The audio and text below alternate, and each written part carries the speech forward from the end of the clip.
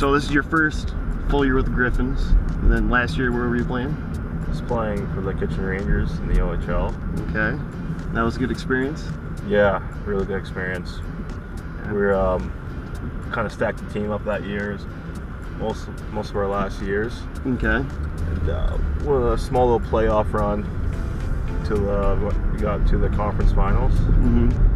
Lost into Game Seven, oh, double man. OT. Dang, but just even like you said, to be there was probably just awesome to be able to be in the, the finals of it and have a good team around you and be able to get as far as you guys did.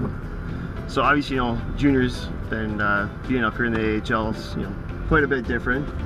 Being kind of like next level down from the NHL. But when was like your first, like, oh my gosh, I'm here, like your moment?